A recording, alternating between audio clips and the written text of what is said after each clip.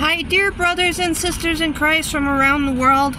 I would like to share some passages with you from one of my favorite books. No, it's not the Bible, but it's about the end times.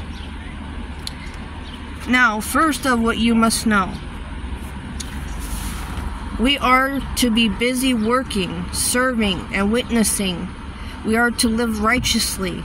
We are to minister to others until He comes. We are to advance the kingdom.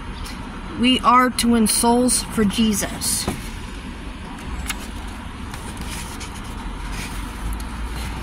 You and I have the good news of salvation. Let's not keep it to ourselves. Let's share it with others and win as many souls as possible to eternal life in Christ. Now, this is uh,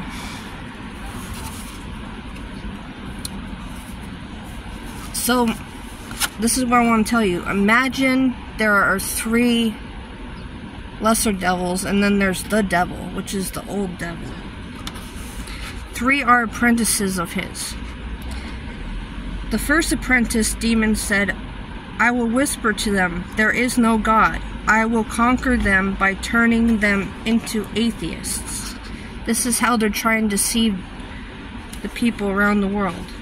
The old devil said, Fool, that approach almost never works. Even the atheist in the secret chambers of his own soul knows there is a God. The second apprentice demon said, I will whisper to them, There is no hell. I will conquer them by convincing them they need not fear the final judgment. The old devil said, Fool, that approach won't work. They may try to deceive themselves but their conscience testifies that there is right and there is wrong. There is heaven and there is hell. The third apprentice demon said, I will whisper to them, There is plenty of time to repent and believe. Why hurry? The old devil said, Correct. That is how you will conquer them. Go out, my apprentice, and ruin eternity for millions of human beings. If you think you have plenty of time to get right with God, if you think you'll have many opportunities to commit your life to Jesus Christ, if you think there's no reason to hurry, you have bought into Satan's lie. Your most precious possession, your soul, the eternal soul, is in great danger. I urge you, I beg you, do not make this mistake. Do not let the satanic strategy ruin your entire eternity.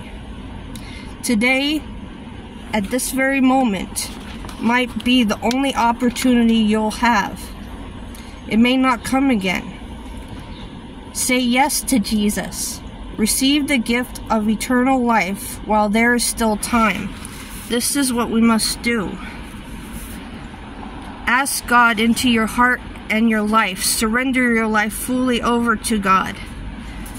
Believe in Jesus Christ. And if you have not turned to Him yet, turn to Him today. And repent of all of your sins because we don't know what tomorrow brings. Today is here, but tomorrow is not promised. So we must repent, believe, and receive Jesus. Open the door to your heart to Him. Surrender your life to Him while there is still time. So just think if Jesus came today and you were face to face with Him, would you really go to heaven? Are you really ready? Because we must all, at every moment, be ready for Christ, being watchful. Yes, we must watch for that. And eternity is forever. We got to think where do we want to end up? Are you rapture ready?